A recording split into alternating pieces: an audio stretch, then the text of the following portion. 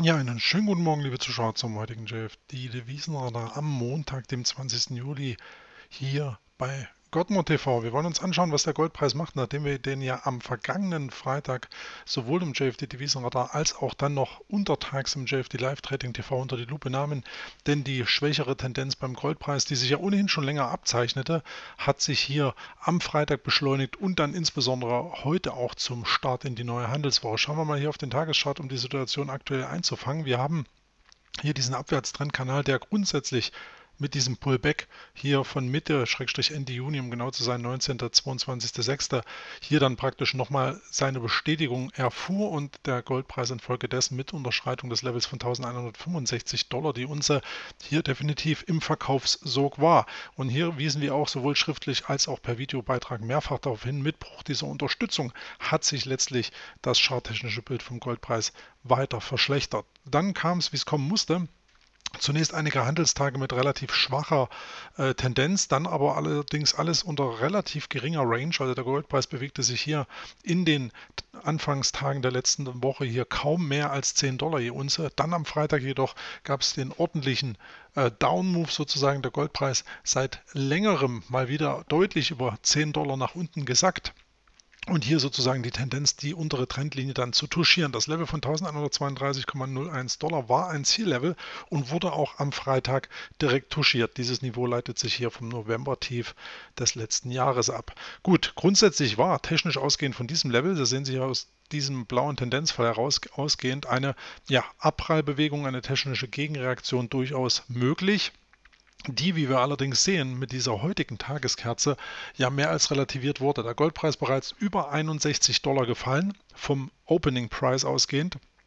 Und das hier entsprechend hier mitsamt Aufgabe der Marke von 1100 Dollar je Unze. Das Niveau von rund 1000 Dollar je Unze ist nunmehr wirklich zum Greifen nah. Und äh, es gibt noch ein Level bei 1080, was hier als Unterstützung kurzfristig dienen kann, aber man sollte sich hier durchaus darauf einstellen, dass der Goldpreis mit Blick auf die kommenden ja, Tage, Wochen im Ausnahmefall Monate, das, das kann man sich kaum vorstellen, ähm, hier sozusagen die Tendenz aufweist, das Niveau von 1000 Dollar je Unze zu touchieren, Schrägstrich auch zu unterschreiten. Davon muss man definitiv ausgehen. Der Goldpreis also hier auf Tagesbasis jetzt mit diesem starken Abverkaufsmove von, mor von morgen hier jetzt aktuell auch schon wieder deutlich gelöst vom Tief. Um genau zu sein, ist er hier schon wieder vom Low knapp 44 Dollar angestiegen. Und ähm, das heißt natürlich, dass hier versucht wird, diese technische Reaktion ähm, zu korrigieren. Warum ist es dazu gekommen? Es gibt die Stop-Loss-Verkäufe am Markt. Das heißt, wenn bestimmte Orders gerissen werden, dann kommt es hier zu automatischen Verkaufsaufträgen. Und das hatten wir auch schon mal im Mai 2011, äh, meine ich, war das gesehen, ähm, wo der Goldpreis dann auch die Marke von 1500 Dollar je Unze durchbrach, ähm, neben den so heißt es wohl, Manipulation von US-amerikanischen Großbanken, war dies dann auch einer der Gründe, warum der Goldpreis ähm, insbesondere dann in freien Fall überging. Eben die Stop-Loss-Aufträge, die hier nach und nach ausgeführt wurden. Aber rein technisch, wie gesagt, der Goldpreis jetzt hier kurzfristig im Erholungsmodus mit Rücklauf 1132 denkbar. Ausnahmefall 1142, um dann jedoch wieder weitere Talfahrt gen Süden aufzunehmen. Also der Goldpreis hat hier den direkten Weg nach unten eingeschlagen und dies dürfte hier das technische Bild weiter belasten, sodass der Goldpreis grundsätzlich mit Blick auf die nächsten Tage ähm, und natürlich auch Monate hier eher weiter abwärts ausgerichtet sein sollte. Und dies begünstigt natürlich dann auch eine annehmbare oder zu erwartende Dollarpreisstärke. Der Dollar dürfte also hier weiter nach oben rausziehen, was dann wiederum den Euro belasten könnte, was im Umkehrschluss wiederum den DAX weiter hinauftreiben dürfte. Das sind also alles solche Korrelationsgedanken, ähm, die man hier fahren kann, die den Goldpreis hier grundsätzlich rein auf den Goldpreis betrachtet weiter schwächen dürften. Doch schauen wir mal kurz das große Bild vom Goldpreis an. Wir sehen hier den 15-Jahres-Chart von den Tiefs vor dem Millennium, beziehungsweise hier das Tief von 99, dann hier das Tief von 2001, so ein, ein, eine Ausbildung eines klassischen Doppelbodens. Der Goldpreis dann hier sehr, sehr ähm, signifikant angestiegen, über 650 Prozent seit den Tiefs hier vom Millennium ausgehend. Und jetzt sehen wir hier, dass der Goldpreis eine Korrekturphase hier begonnen hat, knapp vor der Marke von 2000 Dollar je Unze eben hier scheiterte und letztlich dann hier, das war übrigens Mai 2013, nicht 2011, wo es hier den Durchbruch gab, unter 1500 Dollar die Feinunze. Letztlich sehen wir aber hier sehr schön, dass der Goldpreis ja in einer Korrekturphase steckt und diese auch weiter ausbauen könnte. Denn wir haben eben hier ein neues Mehrjahrestief gemacht. Die Marke von 1000 Dollar befindet sich hier. Da gibt es ja auch ein kleines Unterstützungslevel bei 1030 und hier das besagte Level von 1080 Dollar die Unse. Das aber eher eine zwischengeschaltete untergeordnete Unterstützung. Vielmehr wäre hier 1030 zu nennen was man hier als Unterstützung ansehen kann. Das ist hier das Hoch auch 1032,40 vom März 2008.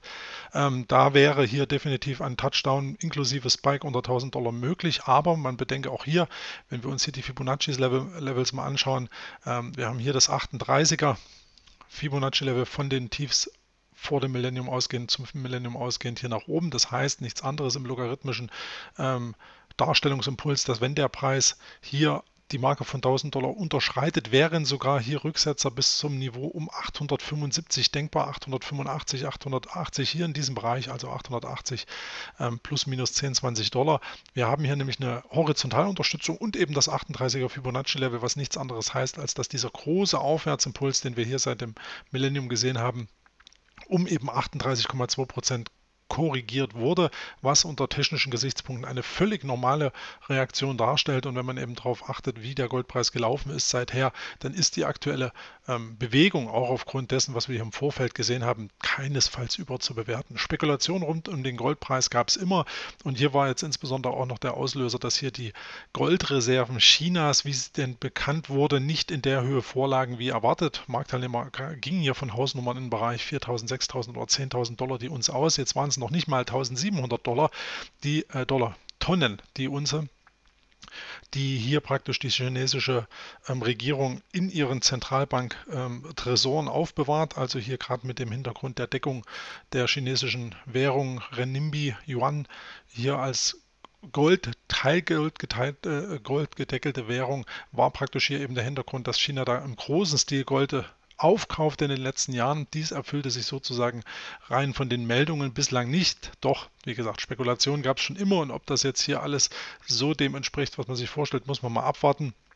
Rein technisch hat China in den letzten Jahren immer wieder auch aufgekauft und im Vergleich zu den letzten Jahren sagt man hier sind 50 bis 60 Prozent ähm, an Zuwachs verzeichnet wurden in Sachen der Goldpreisreserven und ich denke, auch hier wird noch nicht das Ende erreicht sein. Also weiter fallende Preise beim Goldpreis zu erwarten, die wiederum die langfristigen Investoren sicherlich einladen zum Kauf, denn übergeordnet eine völlig normale Korrekturbewegung, die wir hier sehen, auch wenn sie sicherlich zu Teilen jetzt recht heftig ist und es könnte auch noch durchaus heftiger werden, also sprich beschleunigte Korrekturimpulse. Ähm, sollte man sich hier früher oder später durchaus auch wieder auf eine technische Aufwärtsreaktion einstellen, die zunächst natürlich völlig korrektiv bleibt, solange der Goldpreis hier im großen Bild nicht hier wieder deutlich über 1300 Dollar hier uns herauszieht. Also das technische Bild ist angeschlagen und dürfte auch hier in den kommenden Tagen, Schrägstrich in der kommenden Zeit auch angeschlagen bleiben. Sie sehen auch hier, dass wir auf Basis des Monatscharts, in dem wir hier stecken, sogar jetzt hier diesen Abwärtstrendkanal auch skizzieren können, der dann hier auch aufzeigt, okay, jetzt haben wir hier so einen gewissen Spike erreicht, vielleicht eine technische Gegenreaktion nochmal möglich, aber das Level von 1000 Dollar unser sollte in den kommenden Monaten durchaus erreichbar sein.